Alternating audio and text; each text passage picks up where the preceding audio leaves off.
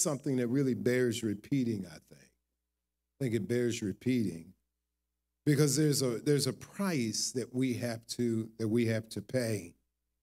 There's a price that we have to pay. There's uh, something that God is expecting from us. Um, there's something that God is expecting from us, and um, and we have to do it. Now, one of the things I think that, and I'll, I'll kind of preface what we're going to talk by just, uh, what we're going to talk about by just saying this: that I think that one of the one of the things that we have to begin to entertain is um, we have to begin to uh, entertain the possibility of the depth of ministry that God has actually called us to. What is the assignment? What is the ministry? What is the um, what is the call that's upon your life? And so, as we begin to identify uh, those things, we want to make sure that we understand that there's going to be a there's going to be a challenge that is going to be uh, that is going to be posed to us that is uh, going to be measured by the assignment that we have, the call uh, that we have. Uh, uh, and so, if we can identify that, we can identify the depth of uh, of the challenge that we would be that we would be faced with. Are you with me so far? Um, so let's dig in here and really begin to uh, begin to identify uh, some things about the call that's upon our lives. Um, the you know because I, I, think that this is a major major uh, thing that we.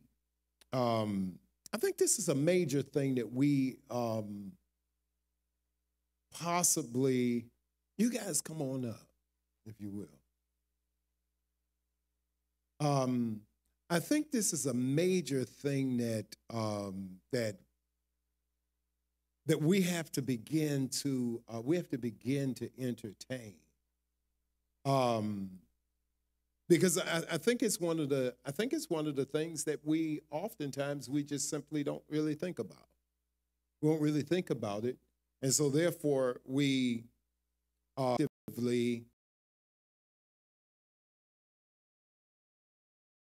or no, the depth of your call. How many of you really feel like you, you feel like you know? You, you care to uh, expound? Did I see your hand, Elder Ruth? Oh, you say not even the slightest. you didn't even think about raising your hand, did you? right. Okay. Go ahead, Ramona. You care to you care to expound? Okay.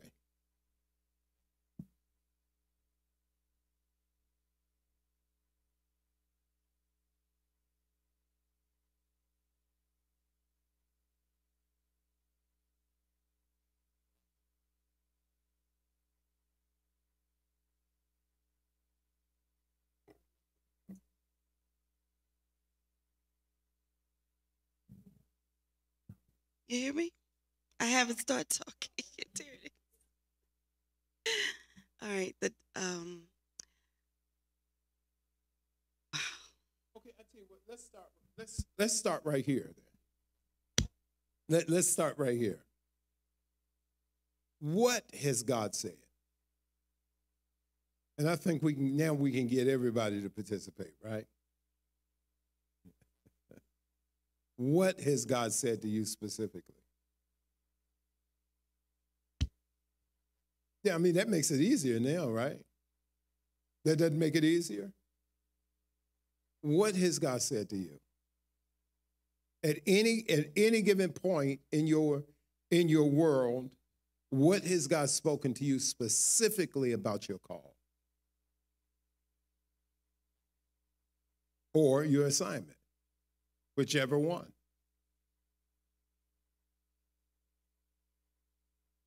Give me one thing that he says specifically about your call.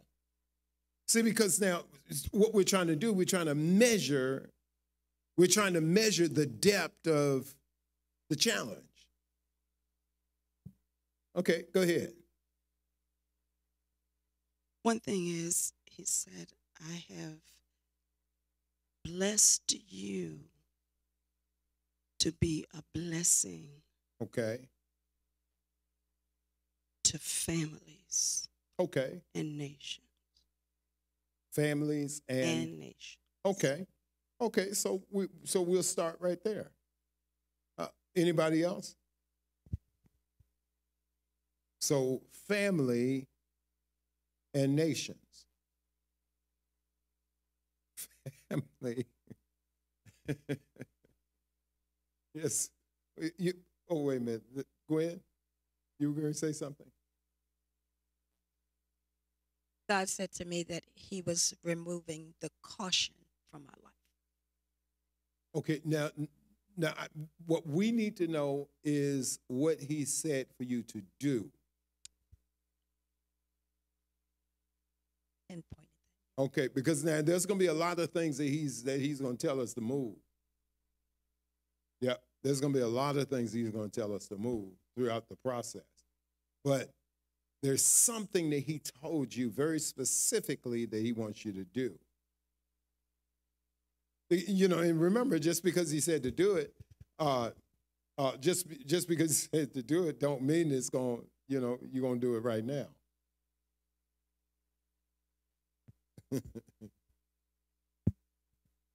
It is certainly good to have Mr. and Mrs. Burke with us.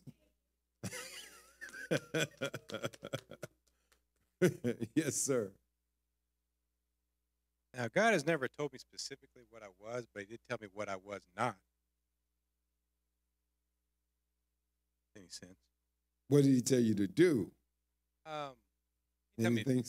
Uh, what he he told me, uh, I was, and I heard it very clearly. I was driving down the road, and I was Mhm. going. I think I was going through my first prophets, Mhm. and he said, "You need to stop calling yourself a pastor or teacher." Mm-hmm. And he just kept asking me questions. He said, um, you know, look at this, you know, look at what you listen to, look at the kind of music you listen to, look at the thing, what are the things that you ponder, that you think about, that dominate your mind. I had to think about it. Thing that related to a pastor or teacher Mm-hmm. that much. Okay, that makes sense. So as I looked at it, with, you know, everything. Mm-hmm. Yeah, that makes sense. That makes good sense. Particularly at that at that place where he's he wants to challenge you to hear. He wants us to pay attention. You know, those are some of the things that God would do. You know, he don't always just come right out and tell you. I'll try that one more time. He don't just always just come right out and tell you. Why? Because he, he wants to pull us into a place of revelation.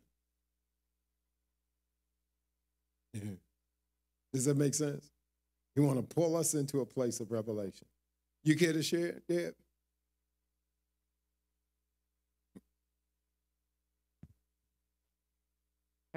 I'm sorry about my poor English, but I will try. That's all right.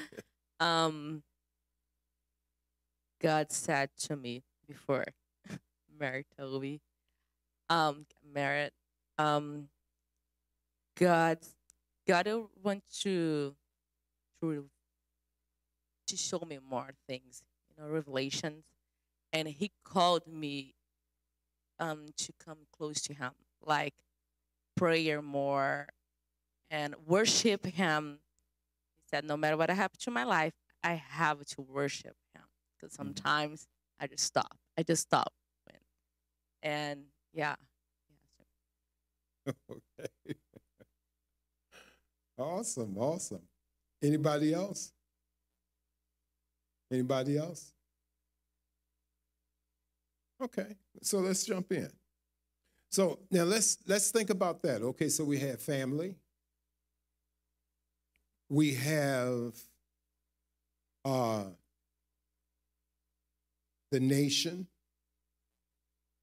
we have the prophetic,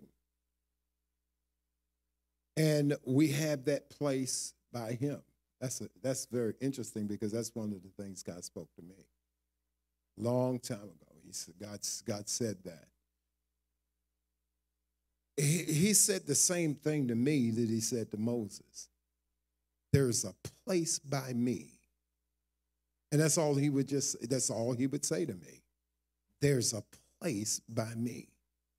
And um and so he he let me know that that's where he called me. He's and and now and then that kind of that kind of encouraged me to find out where he said that in the word, and he said it to Moses. And uh, and he said to Moses that I will hide you in the cleft of the rock. I'll hide you in the cleft of the rock. And um, and that's a place to be called. That's a called place. It's the place that God will uh, that God will call you. And and remember, when God have called you to that place, it it demands a life of worship. It demands that.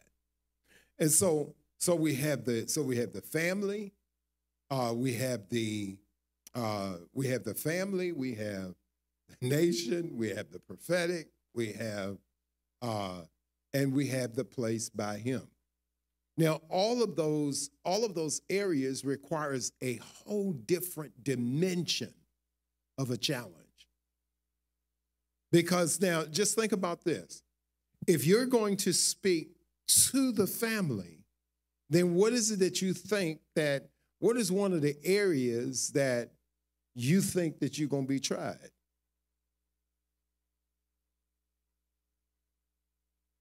Family but let's take that a little deeper. Let's try relationships. Relationships. And so now watch this now. And so one of the things that um, one of the things that Jesus said in giving us an understanding about a friend, he said that a friend is one that what? Sticks what? Sticks how? Okay, sticks how? Closer than a brother. Sticks closer than a brother. So the indication is that a brother really does stick close. Brothers stick close to one another. But but in in his uh, in his explanation of a friend, what's going to happen is a friend's going to stick closer than that. But now we want to focus on the relationship part. So, so then what do you think the challenge would be? Always quitting on relate on, on people you're in relationship with. You have that challenge because now if a brother, if if if family are designed to stick close, then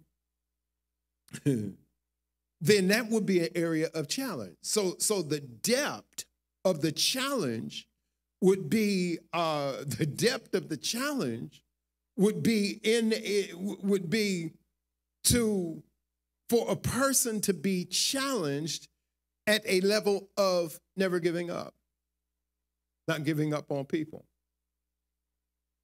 And I can promise you, I can promise you this that anybody that's called to family that's one of the first tests you have to pass. Not even the temptation to quit on people. Anyway, okay, well, how about the nation? Along with the nation comes what? Hmm? Okay, people, yeah. Uh, but along with that comes what? Huh? Okay, relationship, yeah. But also with that comes what? Okay, revelation, yeah. But along with that comes what? I mean, I'm looking for that main thing that it comes with. Think nation. now, th- now go through the concordance of your mind and and think about and think about all of the people that God spoke to about the a nation and what he gave them.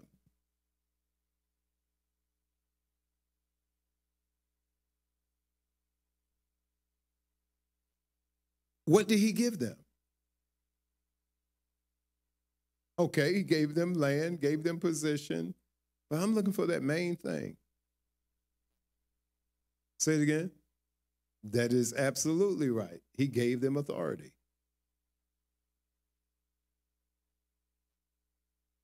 He gave them authority. And so then, so then think about this now. And so that is not so so now now let me go through this and I know this is over in the Renaissance prophet, but but let me let me go through this. So you have so you have local authority, you have regional authority, you have national authority, and then you have international authority. And so at the very at the very least when God speaks regarding nations, then that is national authority.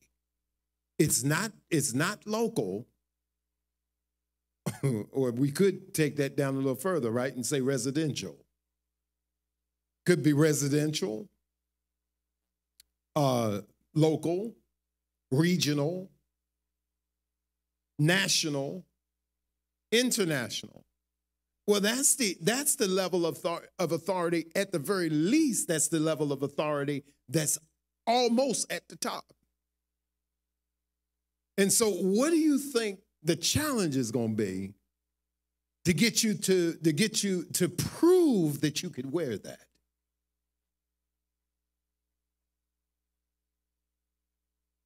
I, I see. I want to get you. I want to get you to think because see, this is an area I think that we. I think that many, many people in the body of Christ have failed. I think many people in the body of Christ have failed in this area. Why? Because God is now, he, He's given us a call, He's given us a, an assignment, but we have never really looked at the assignment and and and um and examine the dimension of a challenge that's going to come with that. Because remember, we have to try that on. And you actually have to wear, you actually have to wear that. Whatever that authority is, whatever that call is, whatever that assignment, you're going to have to you're going to have to put that on. And the only way that you can put that on is if is if you can endure the challenge that goes along with that. Does that make sense? You can go put amen right there. That's good. Amen. You know, and so so once again, you know, think about think about Moses. Think about Moses. Think about all the all the things that Moses actually went through.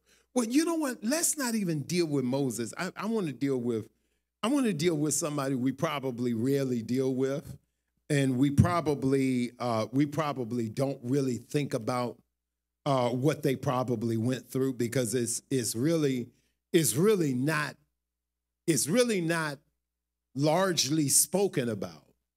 And that would be, and that would be about a little heathenistic girl called Ruth. Not you. no, no, no, honestly, a, heath, a heathenistic girl called Ruth. Now think about this. She's tagging around with Naomi, right? Uh, she's married in the family. And this is something that you have to really get. She's married in the family.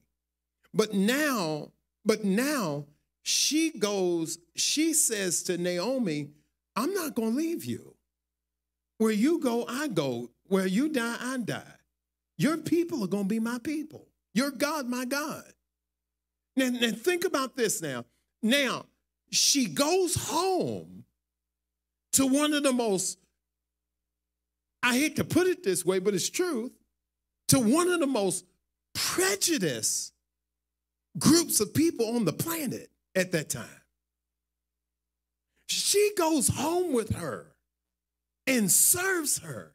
Can you imagine the kind of uh, the kind of um, that God was preparing her for something, wasn't he?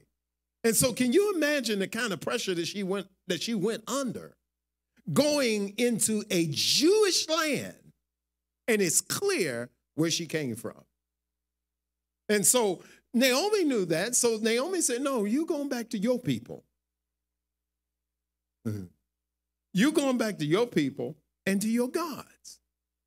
Going back. The Lord be with you. And she said, I'm not leaving you.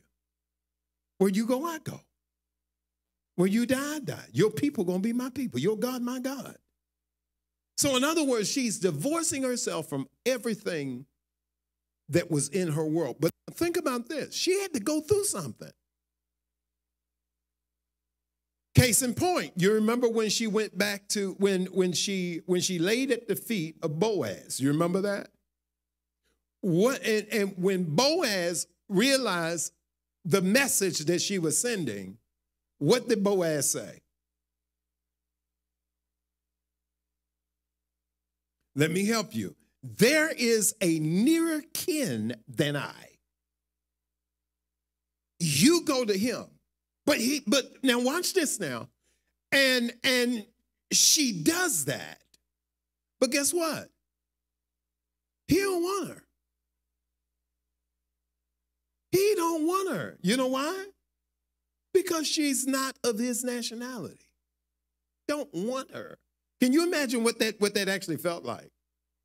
I mean, that, that was a huge dose of rejection. Now, all of the other people that were surrounding, can you imagine how she was treated?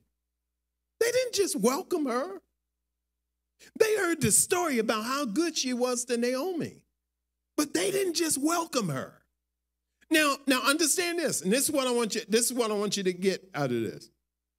All of this was a test because of what she was called to do. All of this was a test. And so now understand this now. So God is going to walk her in into the blessing. Uh, God's going to walk her into the blessing, but she has to go through the test first. Can she endure all of that and still be good to her mother in law and, and still not quit? See, all of this before she could really have Boaz. Are, are you here? And so now think about this. Now think about the all think about the fact that God called you. You were called from your mother's womb. And God called you. He he foreordained you. But now, and then think about all the things that you have gone through. Understand this, and this is what I want you to get. All of it was a test. All of this is preparation so that you could step into that call. Now understand this. Now, so there's a, so there is a there there is uh, uh, the oil's cost and challenge. So there's a cost and a challenge that goes along with the oil or the anointing that comes on you. Because now remember, when you have a call and you have an assignment, there is an anointing that accompanies that. You have to put that anointing on like a coat. Does that make sense to you?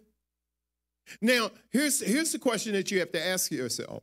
You have to ask yourself, have I effectively endured the endured the cost and endured the challenge for the anointing that I must put on.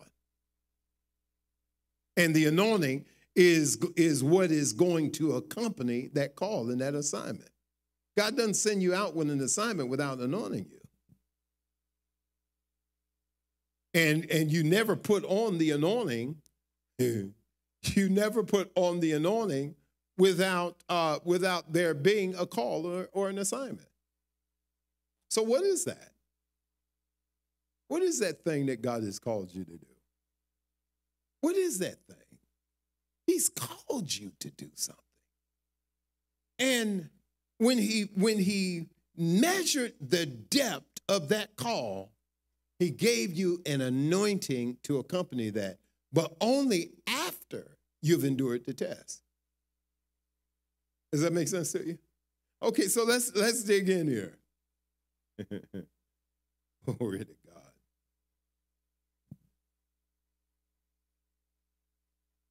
Here's one of the things that I'm I'm pretty I'm pretty sure of. I'm pretty sure that once you have um, I'm pretty sure that once you have identified the fact that there is a there is a tremendous call of God on your life. I am pretty sure that once you've identified that, you've also identified the fact that you have been going through something. You know, if you just think if you just think back on on the making, if you just thought back on just on the making, I could promise you that you you look back now, you you you can just about pick out the things that were part of your being made so that you can wear the anointing. And understand this, you have to be able to put the anointing on like a coat. And as I shared with them on last night, you you have to you have to be able to flow with the anointing. That's that's part of the making. That, well, I, let me put it this way. That's part of the reason that you've gone through what you've gone through or what you're going through in order to in order to be so in tune with the anointing that you have to flow with. And, and what we do, what we do in the prophetic, it requires us to really flow with God to really flow in that anointing. It requires that. Does that make sense? Okay. So let's let's look into this just a bit. Any questions before we jump into this? Okay. Okay. Okay, so now let, let's go, let's go, Carla. Let's read a little right at the beginning. The oil's costs and challenges.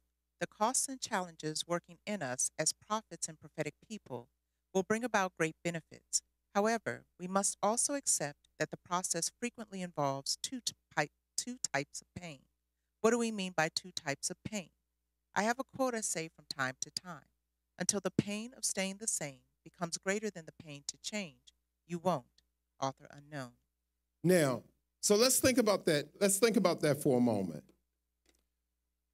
Until the pain of staying the same becomes greater than the pain to change, you won't. So one of the things that is that is understood, and that is that we cannot do what we're called to do like we was or like we are. So if if we're just getting started in this, there's no way that we can stay like this and and still do the call. It you can't do it. You have to you have to be able to um to accept the cost and the challenge in order to in order to flow like God wants you to flow. Does that make sense? You know, so so there, so there's a challenge. There's a challenge at hand. There's a cost here. Um, now that means that we have to change, and so um, so until the pain of staying the same becomes greater than pain to change, we won't. And so, so in other words, there's a, there's a pain associated with staying just like we are.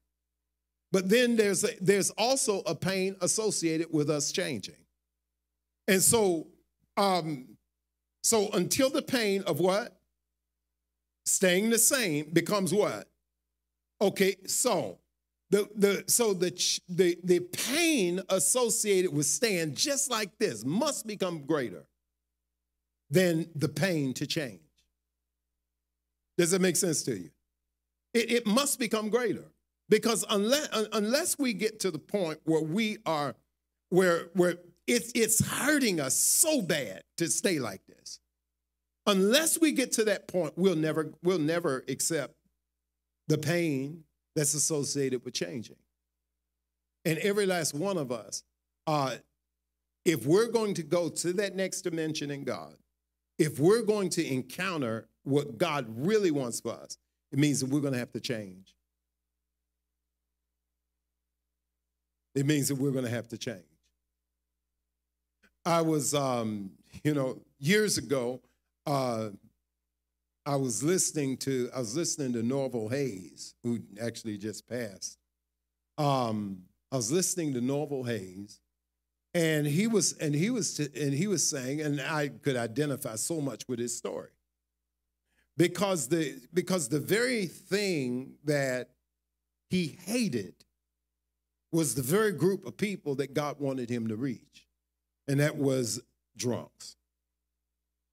God, God called him to reach drunk people, gave him an anointing for it. And, and, he, and he said this, and he said this uh, uh, in his message I hated drunk people. I hated them. I, I just couldn't stand them. Now I couldn't figure out why God wants me to reach them. And so now watch this now. So now, so if God's going to assign an anointing on him for that assignment, then that means that he had to change, right? You cannot reach what you hate. Well, let me let me rephrase that. You will not reach what you hate. And so, in other words, now, so he had to go through he had to go through a crushing, and the crushing that he had to go through, uh, which was a, which was being shoved in this position where he loved everybody in order to be able to fulfill the assignment that God had given him. So I wonder what would happen. I wonder what would happen and how long it would actually take you if God if God gave you the assignment to reach the group that you hate or the kind that you hate. I wonder I wonder what would happen. I wonder what would happen. another interesting another interesting uh, thing that you know, years ago when I, I was listening to um, I was listening to Mark Hanby. Mark Mark Hanby said this, and and you know, I went to Delaware to uh, to see him. Uh, you know, Bishop Bishop asked all of us to come out, asked all of the sons to sons and daughters to come out uh, because his his father, his spiritual father, was going to be speaking uh, at a church in uh, Delaware. So, you know, we went out and um, and one of the things that he shared, he shared, he shared this. He said, it is so interesting that we are, that God sent me into this area to minister to all black people. He said, that is very interesting. He said, because my, my ancestors owned slaves in this same in this same city and state. And and he said he said this. He said, "What are the chances that God would save me? Put a microphone in my hand and have me to break out people of color. Have me to break them out of bondages in the same city that my ancestors put them in bondage. Isn't that interesting? Now, now think about this now. So there, there, there was an anointing. There was an anointing for that. But now, now let's think about what he had to go through in order to in order to wear that anointing, in order to get to that place to fulfill that assignment. Because normally, normally, um, normally, if that is in the bloodline, it's normally handed down. But now there, there is some level of that bloodline has to break it. Are, are you here? And so now watch this now. So what if God, what if God grabbed a hold of you and says, now here's what I want you to do. I, I'm calling you to this group of people. It could be drunks, it could be drug addicts, it could be, you know, whatever it is that you dislike. You passionately dislike that. And then God says, I'm gonna put an anointing on you for that. Think of the change that has to happen. Now, and remember, change never happens without a cost and a challenge. Change never happens. We, we never change. Because we have to change from the inside, we never change on the inside without paying that price, without paying that price, and without going through that challenge. Does that make sense to you? And so so the thing that you're going through today, or have gone through, or will go through tomorrow, is it possible that you're going through that to prepare your heart to receive the anointing for that assignment? I, want, I just want you to entertain that for a minute. Now, then what happens? Now think about this. Let me let me let me give you something else. So then what happens if you refuse to go through that? You're never really prepared for the thing. Watch this. You you're never really prepared for the thing that God won't change his mind about. I'm gonna just let that just marinate just a couple of minutes. God won't change his mind. See, once God has established a thing, he don't change his mind about it. So, so what if? What if? And then God, and then God is positioning you to, to pay the cost, to endure the challenge, so that he can put the anointing on you for that. See, these are things that these are things that prophets have to have to actually endure, especially prophets. We always have to endure things like that because every time God get, gets ready to place a, a different anointing on us, guess what? We have another level of change that has to happen because we have to fit the anointing. Th- think about this. You remember Moses? So he goes through 40 years in Egypt. Do you realize? Um, do you realize from that time, God was actually preparing him for what he was going to have him to do all the way down the road? He was Egypt trained. He knew the mindset of Egyptians. He knew the land of the Egyptians. He was in Egypt 40 years.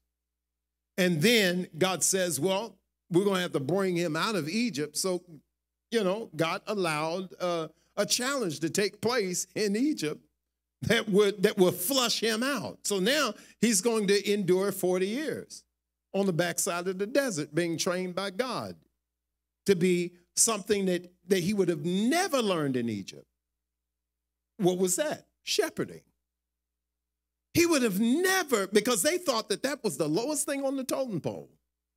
Egy- Egyptians did. They, they, they thought that was the lowest job. And so, so, so God has him on the backside of the mountain training for 40 years as a shepherd. His heart his heart was hard in Egypt. God brings him on the backside of the desert and makes his heart soft, pliable, so that he could actually wear the anointing of a shepherd. Does that make sense? So that he could embrace the anointing of a prophet. So, so, now, so he, endures these things. Why? So that he could wear the anointing. Does that make sense? So now, um, so now the next, the third 40 of his life is going to be is going to be used in what he learned on the backside of the desert. How many of you got that? He has to have an anointing for that. You can't do that without an anointing. Because you'll end up wanting to, uh, if you don't have an anointing for that, then you're going to end up wanting to kill the folk that you just saved. Because you don't have an, you don't have an anointing for that. Does that make sense? See, that's why we have to sometimes we have to defer to somebody else's anointing. Because we don't have an anointing for that. Does that make sense? How many of you how many of you really understand that? And so, so you know, sometimes some of us, God have just given us a soft heart. He's given us a soft heart, you know, so that we can so that we can, so our heart could be nice and moldable and shapeable so that we could so that we could love people through their stupidity Isn't that awesome? You get to love people that um, that act like sheep. You get to love them because you know, um, or not just not just sheep, but goats. Isn't that interesting? We get to actually use the anointing that we were shaped for. But now understand this, not everybody would be able to handle sheep. Because after after you've said it and you've said it and you said it and you said it and you said it and you said it and they're still standing out there and they won't come in. Now you have to go get them and bring them in. Some of you, some of you wouldn't dare. Well, I, I told them to come on in here. If they, if they ain't got enough sense to just come in out the rain, then let their tail stay out there. You don't have a shepherd's heart. Or should I say it this way? You don't have a shepherd's anointing. Because you would let you would let God's creation stay out there. And so, so if you don't have that, that that just now don't feel bad about that. That just means that you don't have the shepherd's anointing. Why? You didn't pay the price for that. But you did pay the price for something. Does that make sense? And so now understand this somebody that has a shepherd's heart, they don't have no problem. They don't have no problem just enduring them or, or tolerating them as long as they, as long as they need to. And then they'll go get them and they'll spoon feed them and they will help them uh, and they will bring them in. They will go through, they have the mercy for that. They are wearing that kind of an anointing because they've been shaped for that. Are you here? Now, shepherds don't understand prophets. Pastors, most pastors don't understand prophets because they're they're, they're too hard. They're uh, they're they're they're too hard. They you know they're judgmental. Can we just roll through some of the things that uh, some of the uh, some of the things that pastors would call uh, problematic for prophets? One of those things, one of those things happen to be they judgmental. I don't, I don't think that I've ever seen a, a, a prophet that uh, somebody that was truly a prophet that was not judgmental, including the one that's holding the microphone. I had to go through something to get that out of me. And, and, it, and it actually, now let, let, let, me, let me rephrase that because I'm still a prophet and it's not gone, but I know how to use it because it because understand this now if, if i'm just if i'm just always judgmental on something then i will kill what god loves. And so there are times that there are times that there's a different anointing that comes on me.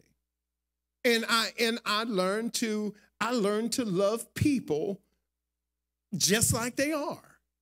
Does that make sense? And so all of so now but i cannot explain to you uh, the kind of chaos that I had to go through to get that. See, that, that, that's something that you had to pay for. You don't just you don't just get that. Are you here? That that that doesn't come that doesn't come free. You know, you have to you have to go through something to get that. And it's painful. How many of you got that? Amen. Praise God. So my point is, is that whatever you whatever you're you're in you're dealing with, there is a huge possibility that the only reason that you're going through that is because God is trying to break something in you so that you get to wear the anointing for your assignment.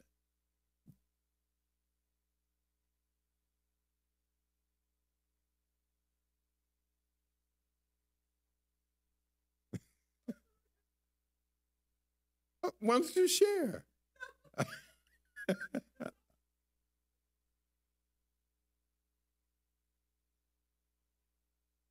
no.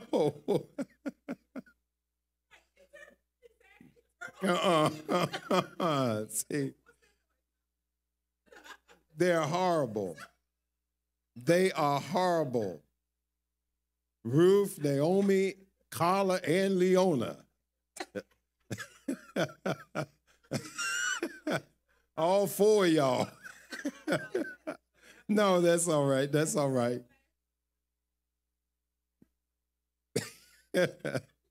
no, but see now, under, understand this. See, a pastor's not going to understand that. A pastor's not going to understand that. You know why? Because they they they operate with a different anointing. Does it make sense? I mean, they they operate with a different anointing. You know, they they they won't even think about that. You know why? Because they operate with a different anointing. And so, um, which means that they they would never even think to do something like that. You know why? They don't have the prophet's anointing. Because the prophet, understand this, and this is one of the things that we really have to get. The prophet is designed to kick folk. Kick people. Kick them back in line. Kick them back in shape. Does it make sense? Does that make sense to you? And see, now, a, a, a, somebody that have a pastor's heart, a pastor's anointing, would not even think about doing anything like that. Why? Because because they have a different anointing, and that's why you have five lined up, shoulder to shoulder: apostle, prophet, evangelist, pastor, teacher. That's that's why you have that. Now, a teacher, a teacher is actually absolutely going to keep repeating themselves. Why? Because teaching is repetition. Got it? Teaching is repetition. But you you have people like the evangelists that don't want to, they ain't gonna keep just repeating myself. They're not going, they're not to do it. They have a different anointing. Does that make sense to you? And see, these are things that we have to absolutely embrace. We have to understand this. And now, every one of those five had a different cause and a different challenge that they went through that made them like they are. Does that make sense to you? Now, now, now understand this. Now, it doesn't mean that we as that we as prophets that we're always just going to be hard on people. Doesn't mean that we're always just going to always just going to leave them out there, shut the shut the blinds, you know, pull down the curtains or whatever it is that you say we do, uh, and and and and and eat popcorn, roof, and just pretend they ain't out there. Turn the TV up so you can't hear them. so, but now understand this. And this is the thing that we really have to understand because everybody wouldn't, because all five won't do that, it's because they were shaped by a different test. They were shaped by a different test. One of the things that a priest will go through, according to Hebrews, one of the things that a priest will go through, they will go through challenges that they needed God's forgiveness so that they would know how to, uh, to handle uh, in a tender way people that fell, people that fell short.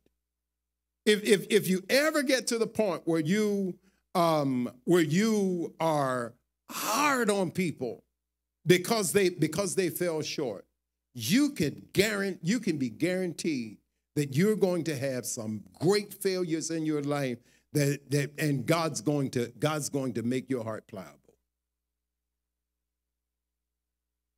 Amen. I'm telling you, it happened.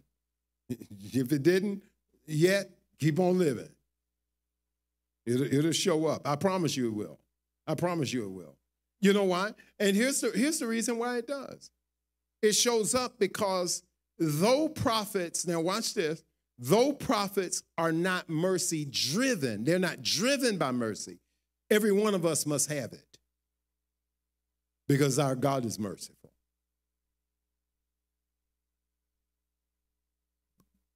Okay. I'll take that one amen, that one mm. Yep. Yes, ma'am. If uh, if okay, I'll talk about me. If I'm that type that leaves people out on foot, um, and they're constant, you're constant, you know, they come to you and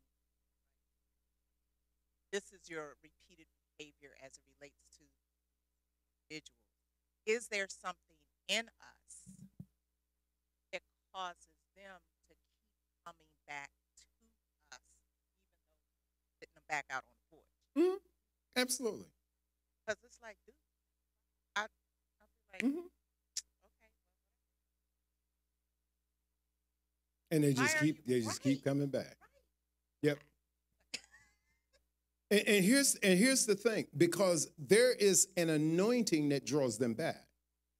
Because remember, even though even though uh, a prophet may function that way, they're um, they're developing something on the inside of these people.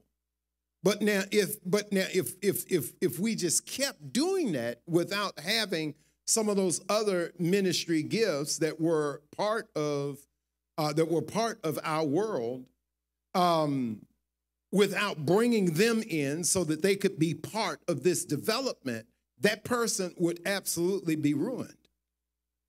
They would be ruined because uh, because nobody can handle that forever. Does that make sense? Nobody can handle that forever. You know, um, you know, I mean, you, you can you can discipline a child with a with a with a, a belt, but you you can't. I mean, you know, and I mean, well, you know, they say you're not supposed to do it, but um, people do it. But if you if that was the only method that you have, if that was the only method of discipline that you had, you ruined the child. There should be other methods that are used. There, there should be multiple methods that are used. I mean, I mean, just think about it this way: even a roach becomes immune to what you use if you keep using the same thing. Same thing that used to kill them will start; they'll start enjoying it, and they won't die. Are you with me? And so, you know, and and same thing with a discipline. You use the same method of discipline, they become immune to it. They become immune to that, that method of discipline and it'll stop working, but it will, it will still ruin them. Does that make sense? And so that's why they keep coming back because you have an anointing for them. And so your anointing is helping them, is fixing them. But then it takes the other four anointings uh, in order to make them perfect or whole or complete. It takes the other four anointings. That's the reason, you know, it just can't be just the anointing that we see every Sunday. You know, the, the, the, anointing that we see, you know, in the in the set gift that is doing whatever they do, it cannot just be that anointing. That's on them. We have to make room for the other anointings in the house. Does that make sense? Now, but we have to make sure that whoever is used, that they are, uh, that they are or have been developed in the area to wear that anointing, because they're they're not going to function at the height of that anointing if they have not if they have not dealt with the cost and the challenge. They're not going to they're not going to wear it like a coat. See, we have to be able to wear the anointing like a coat. Does that make sense? Now, what does that what does that really mean? Wear the anointing like a coat. That means that that means that it is a perfect fit. That means that the anointing that's on your life, it is a perfect fit. Now, you know how to flow with that anointing. You know how to flow with that anointing. And because now remember, between the Holy Spirit and that anointing, uh, there is a flowing that's needed because now you cannot be behind the, the anointing or the Holy Spirit. Let's, let's say the Holy Spirit. You can't get behind the Holy Spirit and you can't get in front of him. You have to be able to flow with him. When he goes right, you need to be able to go right. When he goes left, you need to be able to go left. Does that make sense? When he when he shifts, you have to be able to shift. When he says to do this, you have to be ready to do it. You can't be you can't be getting ready to do it. You have to be able to do it. Why? Because a lot of things that God does it must be done in perfect timing or you won't get the kind of manifestation. You won't get the kind of manifestation that was uh, that's that was really needed. Does that make sense to you? You won't you won't get it. You, but see, that's something that uh, that's something that you absolutely have to make sure that you're you, you you have to make sure that you're flowing with that anointing. And so, as a result, you'll start getting, you'll start to seeing miracle after miracle after miracle. You'll start to seeing that people are getting uh, manifestations based on based on the fact that you did what you needed to do when you needed to do it. You flowed with that anointing. Does that make sense?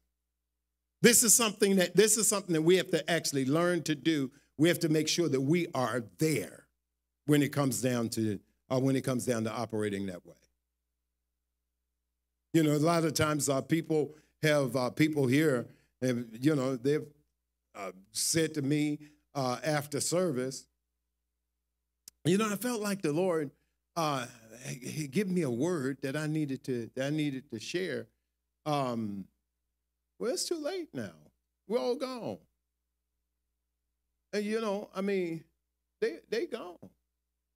They gone. You know, that was the time to actually, you know, they, they should have they should have rolled out with that. Does that make sense? See, they, they should have known exactly when God gave them that opening and flowed with that right there. That's the anointing. They should have been able to do that.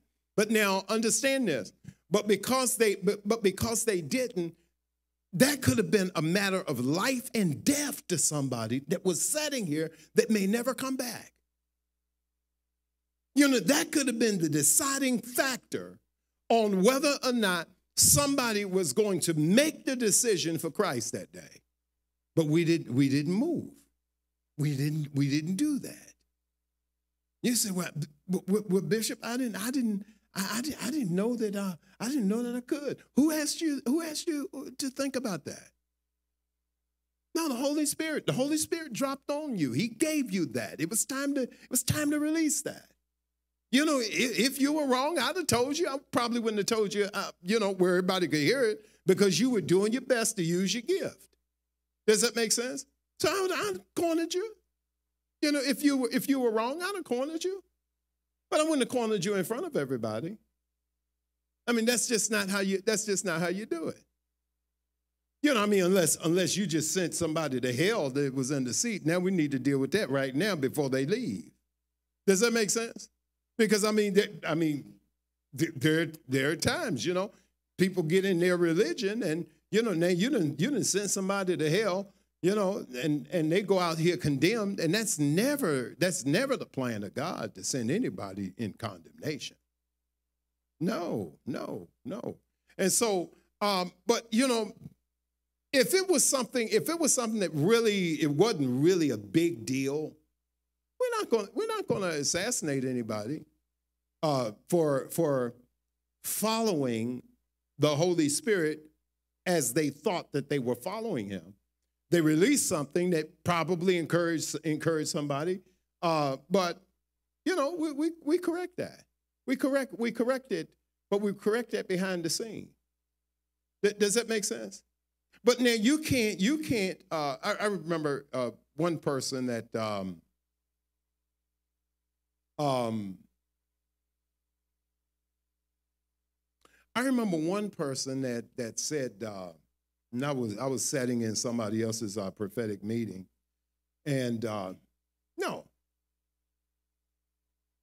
oh no, yeah, I was sitting in somebody's prophetic meeting, and they were, you know, I was I was asked to come and you know just check it out and see, you know, give me some feedback on on how the meeting went, on what you thought about the meeting. And um, and so I, you know, and one of the things that the young lady talked about was uh, she said that you know, they had gone, they had gone somewhere. Um, uh, she, her pastor, and a few others had gone to had gone somewhere, and she said that she was sitting there, and God gave her God gave her a word that the that the praise and worship leader uh, had an ought in her heart against the pastor, and that she needed to fix that and and said that um, you know said that uh, she had um, she didn't say anything because she didn't she didn't you know she didn't want to miss God. She didn't want to miss God, and so she you know she didn't she didn't say anything about it, and she you know they ended up back in uh, I think no this was they before they had left the church before they had left the church. Um, because he was the guest speaker, and um, said that um, she ended up sharing it with the pastor's wife. And the pastor's wife was in the meeting. The pastor's wife was in the meeting with the past with the with the uh, uh, the resident pastor that was there, and the the visiting pastor. You got that? And so, and and the wife, the, the the pastor's wife, went over and shared that with uh shared no, told her to share what she just told her, told her to share that with uh with the with the guest pastor. Because they all had come uh, from this area. And um, said that uh, he said to he said to her, um, you say the Lord said that? So, girl, why, why in the world you didn't you, you didn't you didn't share that? Well, I didn't. Well, I didn't. I, I anybody tell you to think?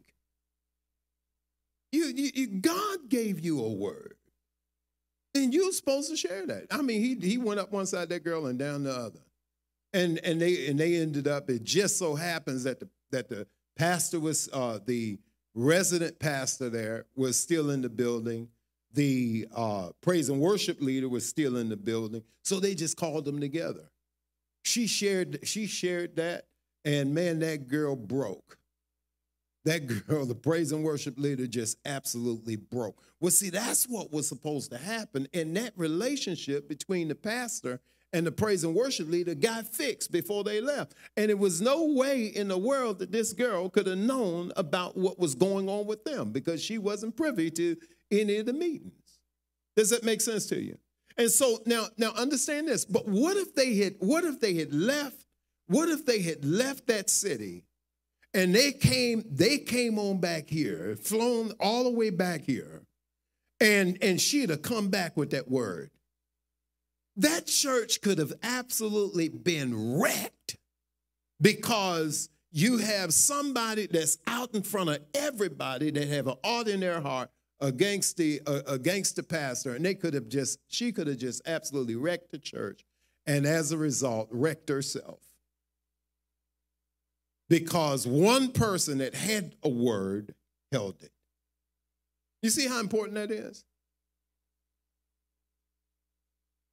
Yeah. See, see, we have to we have to create a we have to create a um we have to we have to go through the cost and go through the challenge and start wearing that anointing like a coat to the point where we just absolutely, totally surrender ourselves to the Holy Spirit, totally surrender ourselves to that anointing and just flow in it.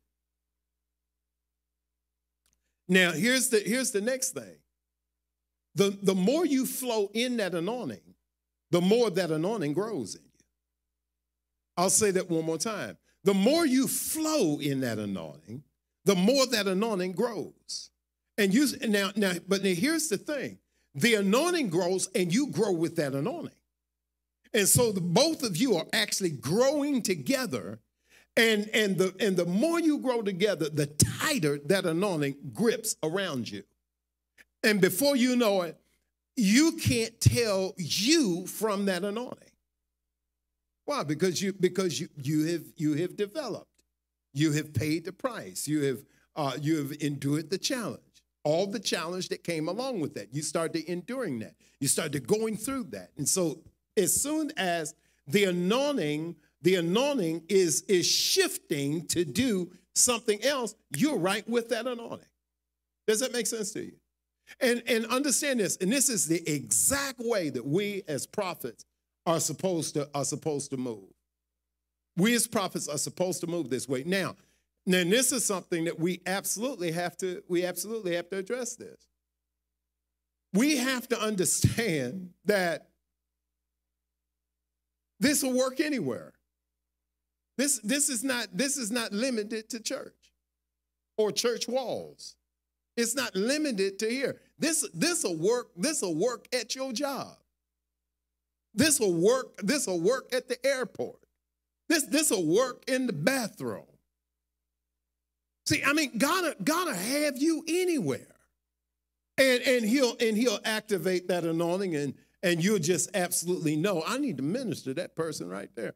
You know, you know, uh, you and I'm telling you, and this is this these are some of the things that I used to I used to do. Man, I was in I was in uh, McDonald's one time, and I you know, and um, this is this was years ago, um, before I start before I start pastoring, long before I start pastoring. Um, you know, and the Spirit of God, Spirit of God spoke to me about somebody that was, you know, there was there was this young lady. She was in uh, she was in McDonald's. God gave me a prophetic word for her when I was calling myself an evangelist. Uh, God had given me a prophetic word for her, and I shared I shared that word. Very few, very very few times was I off because I was I was I was uh, I was going through my test. I was going through my challenge and uh, I was paying the price for that anointing, but I was moving in that anointing. And let me tell you something. And I start wearing it like a coat. I start wearing that anointing like a coat. Why? Because I was always using it. I was always using it. Well, that's what God wanted me to do. He wanted me to use it. And He didn't want it to be limited to the church walls. Does that make sense? See, the anointing that God puts on you, He don't want that anointing limited to the church walls. Because there, there are far more people outside of the church walls that need to be helped than, than that are within the church walls. I mean, because think about this. Think about you guys are coming here and you're getting the word, you're getting trained up in faith, you're getting trained up in, in spiritual laws. You're getting trained up in all of these areas. You know how to get, you know how to get the results without a word. Does that make sense? Because you have the word. And so you know how to, you know how to absolutely use, you, you're taught, you're trained to, to use the word to get whatever, whatever it is that, um, that God wants you to have. And then, and then secondly, you're taught in prayer. You know how to get in the face of God and you know how to hear from God for yourself because of all the training that we're providing. But then you have somebody out there, they didn't get that at their church. I told you guys about the about the um, you know the event that I, I visited because somebody asked me if I'd come, and I and I, I went just because you know uh, I loved them and they wanted me to come, so I didn't want to go. I did. I just simply didn't want to go. And when I went there, I saw some people that used to be with us. And it broke my heart, not because they were, not because they left us and they and they joined over there. Not because of that. It was because what I saw, I saw, I saw people that had been set so far behind. Because the word though the word was taught, or though the subject was taught incorrectly, I'll say that one more time. Though the subject was taught incorrectly, it was something that we we taught that 15 years ago.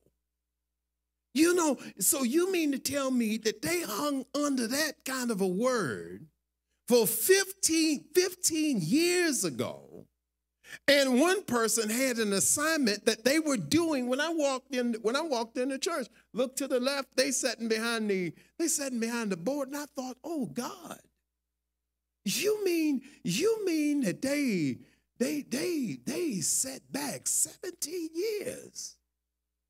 Can you imagine what that what that feels like for for a man of God to know the kind of word that he put in them, know the kind of training that he put them through and then to see every one of them set back 15 to 17 years.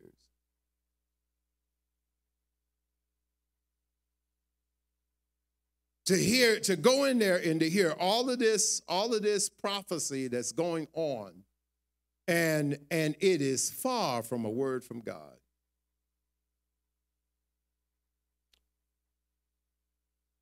one of the one of the words that I, you know, I've observed it because you know, I, I you know, uh, when the uh, the direction was, how many of your prophets in here?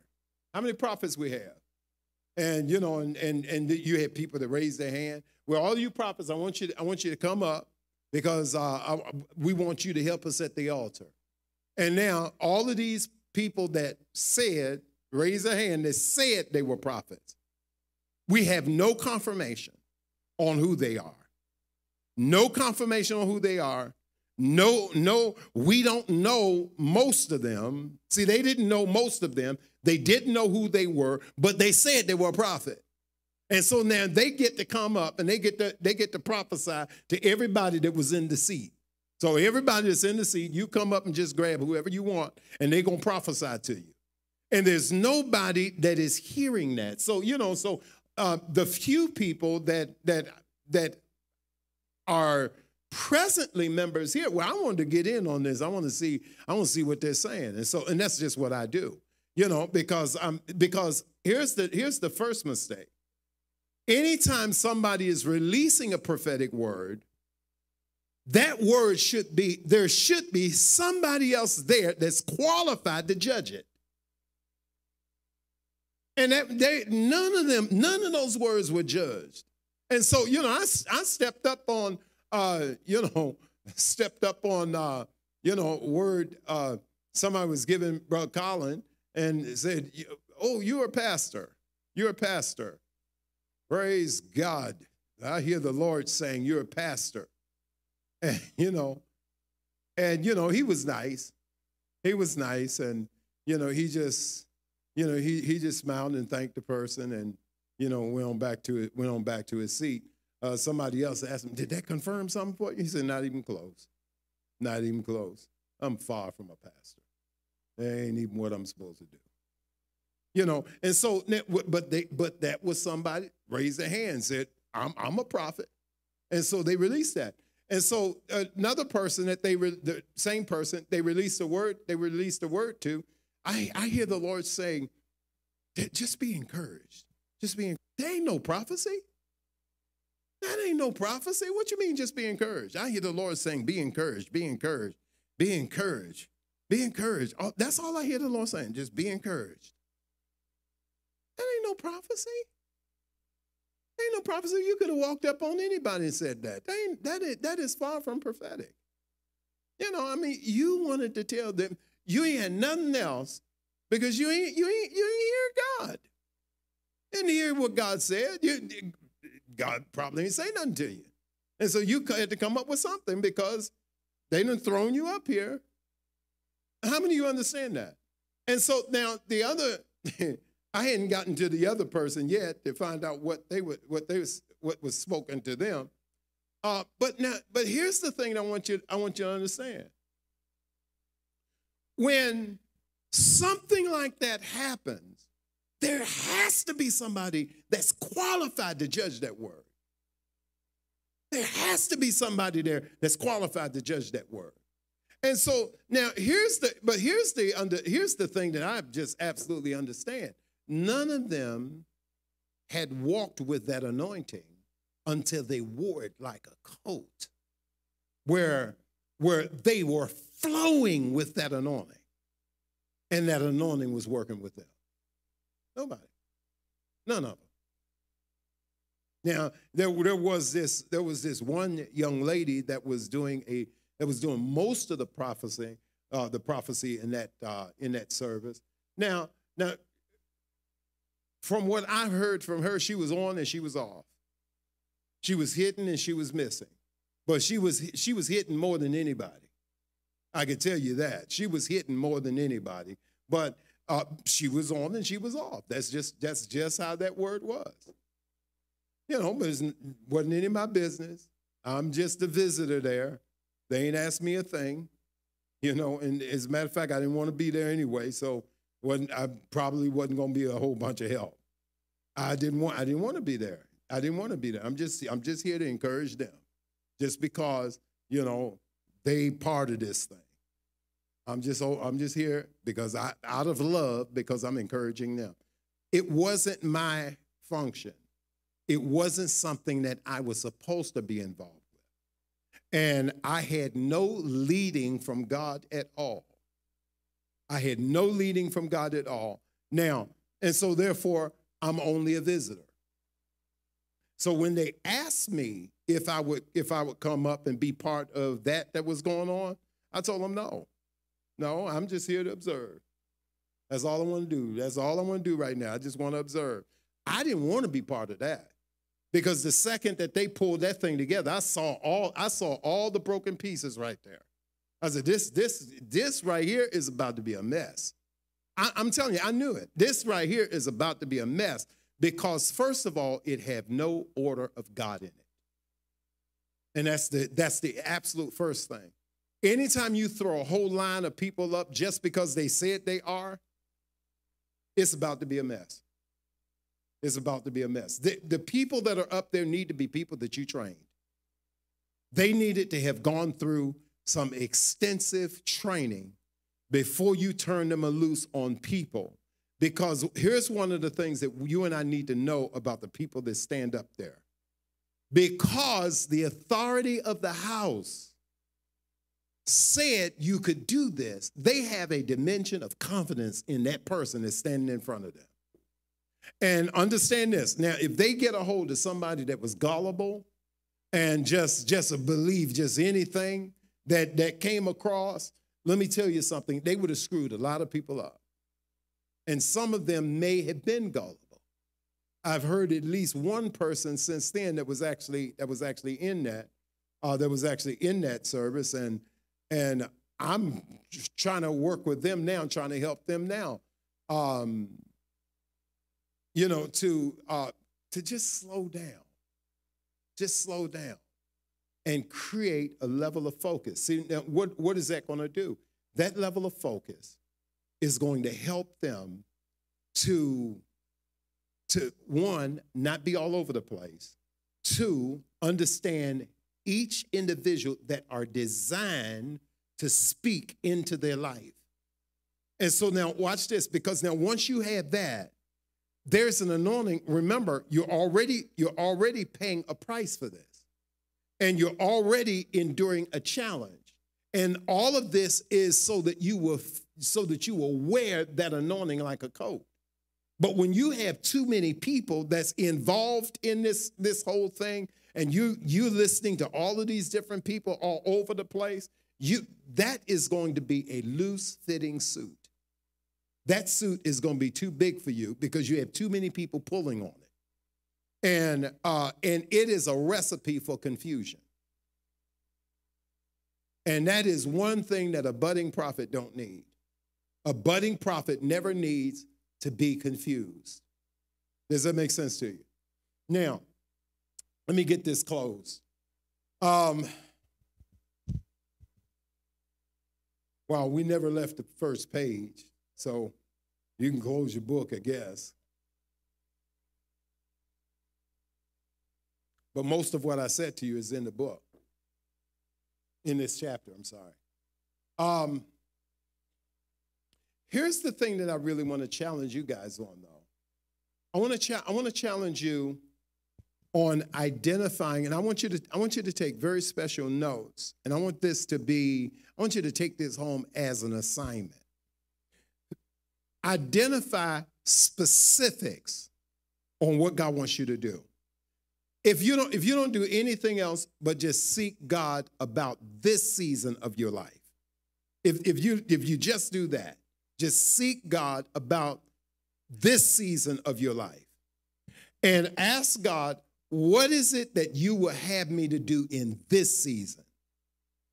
That's cutting it close but that's very specific. Is this season. Why? Because because Obviously, you have already endured some things, you've already paid a price, and there is an anointing on you right now for this season. Does that make sense? There is something, there's an anointing that's on you for this season that is designed to be God's supernatural ability on you to do something in this season right here. So now, so as a practice, you're identifying exactly what that is. God, what is it that you're having me to do in this season? What is that thing that you're having me to do? Um, when God started to minister that thing to you that you're to do in this season, I want you to jot them down. I want you to jot them down because the next thing that you're going to do, the second thing that you're going to do is you're going to identify uh, the depth of that particular assignment or that calling if God speaks to you about a calling. You're going to identify the calling, the depths of that calling.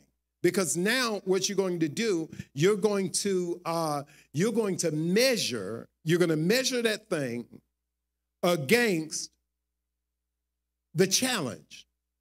And here's and here's here's a here's a really a man, this is huge that I want you to that I want you to now do. Once you have those two pieces, I want you to do this. I want you to see if you could find someone in the word, a character in the word that would um,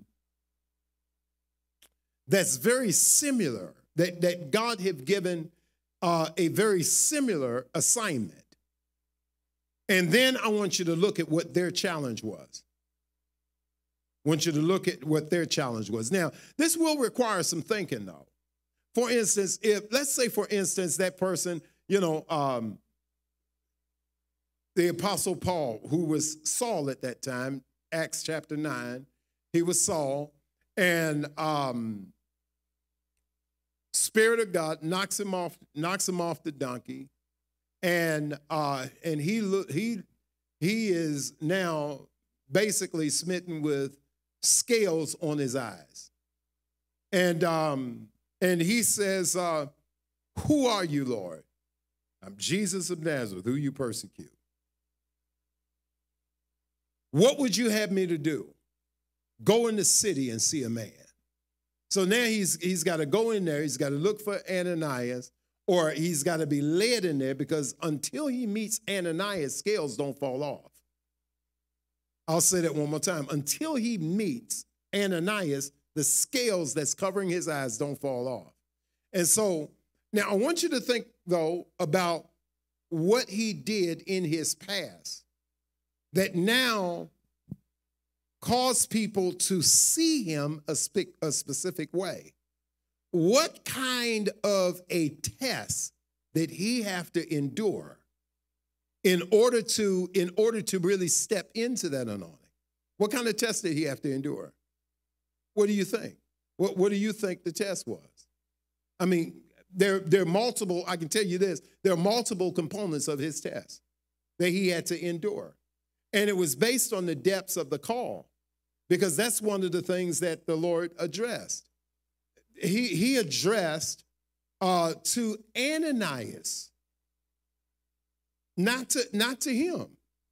He addresses this to Ananias and, and says, I have called him, and he's praying now. And gave Ananias information about his call. Does that make sense? Now, now he now he did he he ministered that to Paul, uh, but he gave it to Ananias.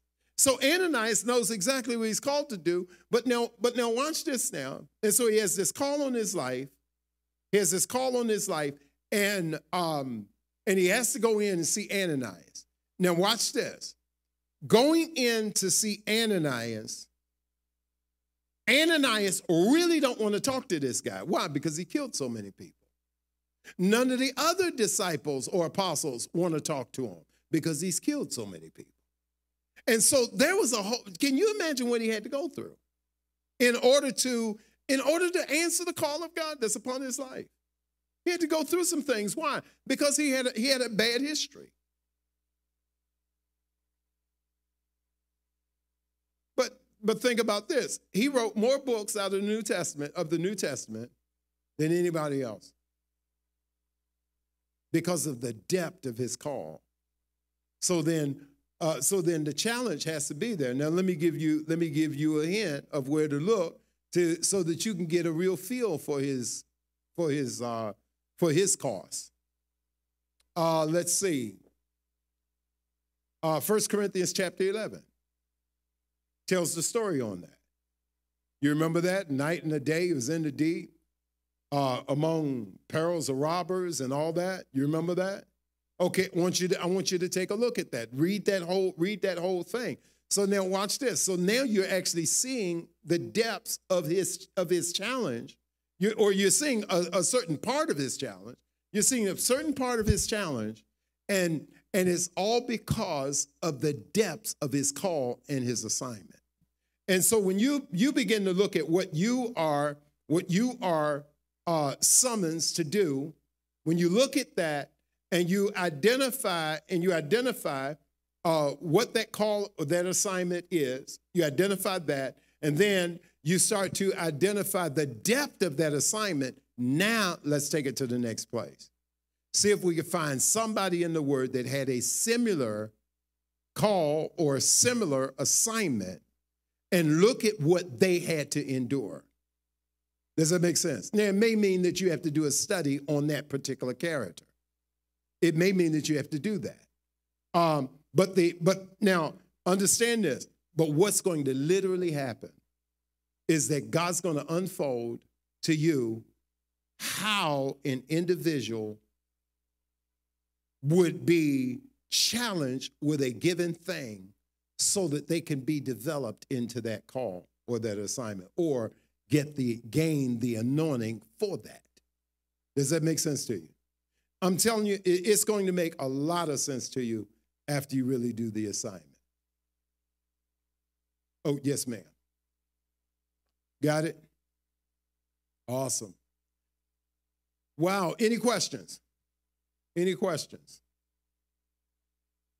Praise God, praise God. Come on, let's uh oh, any if any of you online, you you have any questions, just go ahead and type it in there. We'll go ahead and address that. Amen. Amen.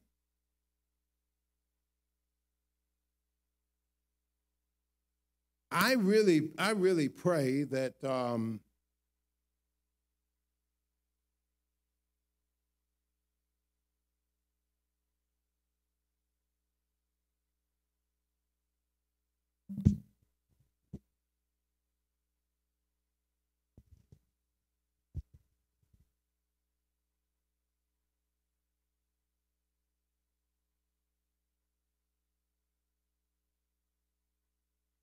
Praise God.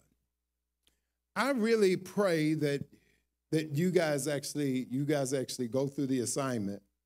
It's it, it will absolutely be huge in your life. It will absolutely be huge. And you go through that, I can promise you that it, it's going to it's going to it's going to be unfolded to you. You'll see it so clear how God will use that, he'll take that, and he'll begin to develop you. Now, at the end of the day, this is what this is what actually happened.